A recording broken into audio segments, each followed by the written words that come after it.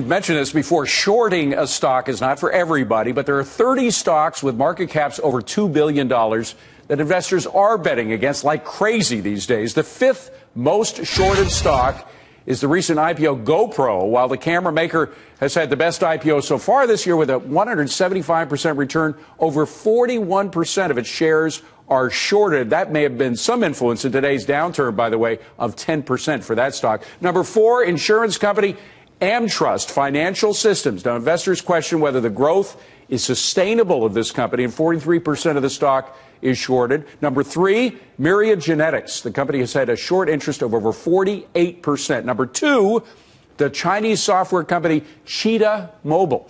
While revenue rose 139% year over year, over 48% of its shares are shorted. And number one, another Chinese company, the Craigslist of China, 58.com, second quarter revenue may have risen 84% year over year, but look at this a short interest of 54%. Wow.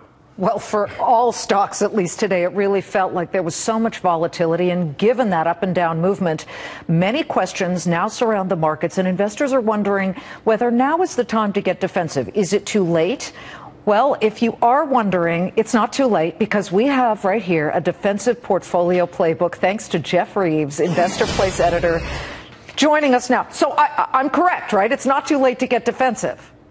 No, I mean, it's always a good time to kind of take stock of things, particularly the end of the year. But, you know, I've been kind of writing about this a lot uh, for the last week or two. Uh, today's move, I think, is a pretty pretty important move down. I think we actually broke through the 200 day moving average. There's a lot of people saying uh, on my Twitter feed, I looked at on the way over here, that's the worst week that we've had since the 2011 kind of European debt crisis. Um, but the bottom line is that the writing has been on the wall for a while between fund outflows, rotation in defensive sectors. Um, it's kind of been rocky for, for a couple weeks now, since late mm-hmm. September. So uh, I don't think it's too late but I think it is, you know, you know, time to get started about being prudent about where your portfolio is going to go in 2015. Now, getting defensive here. doesn't mean selling all your stocks. You've got a playbook, and we're going to run through four different things. Just as investors flee equities, pulling 2.1 billion in outflows already for the month of October, you're saying that's not necessarily the way to go. Let's get to your first page of your playbook. Don't abandon all exposure specifically to U.S. stocks.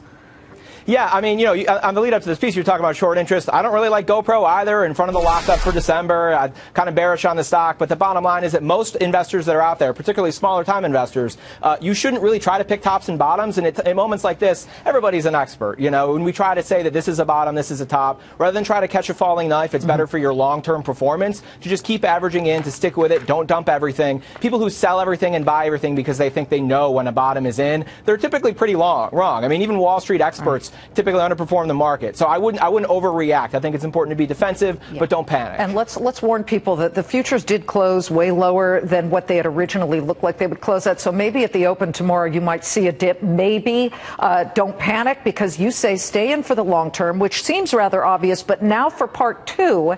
You say actually ramp up your exposure to a certain region, Europe.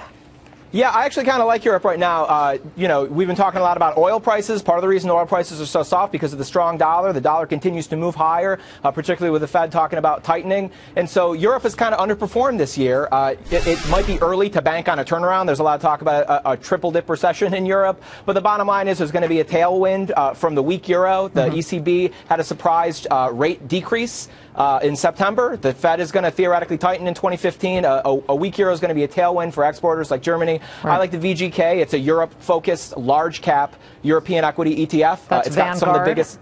Yeah, it, it's it's really cheap because that's Vanguard shtick, uh, and it's got only exposure to the largest European companies out there. Again, I wouldn't go all into this and move all your money over to Europe, but now might be a time to start buying. I mean, again, it's underperformed. I think Europe is going to come around in 2015 and 16. Uh, and, and, back to 2011, when we thought the world was ending in the eurozone debt crisis, if you okay. bought Europe in 20 in 2012, it was a pretty good time. I want to get through the next two. Number three, and it's tread lightly. Don't Get in there with muscle and blocking and tackling. Tread lightly in bonds. Yeah, I think again, it's really important to look at. Most people buy bonds with bond funds. Uh, if you hold bonds to maturity, it's a different story. But if you buy a long-term bond fund, you really are exposed to interest rate risk there. Right. As rates rise, your principal is going to take a hit. So I'm kind of erring on the side of short-term bond funds. One that I like right now is there's a Fidelity fund that's kind of in the sweet spot. It's a short-term fund, but it's high yield. Uh, so most of the durations isn't more than, than several months, but it can still give you a 4% yield. Again, you're not going to burn down the house here. Yep. And I'm not. I, I don't think the S&P is going to go to zero. So don't move all your money. But if you're looking for bonds, I kind of look for a, a short short-term high yield fund like that Fidelity. Okay, so you got Fidelity short duration. And finally, get defensive by averaging into certain areas that you're starting to warm up to, and that would be healthcare.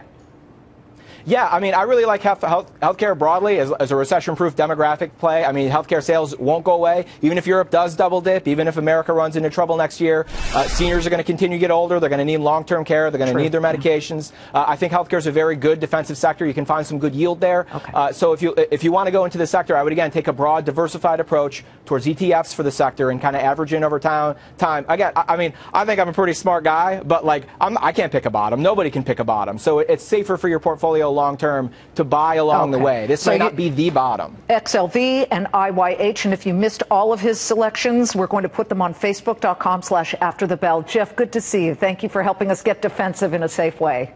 Thank you very much. See Jeff Reeves. David. Defense. I wish you could tell the New York Giants that. All right.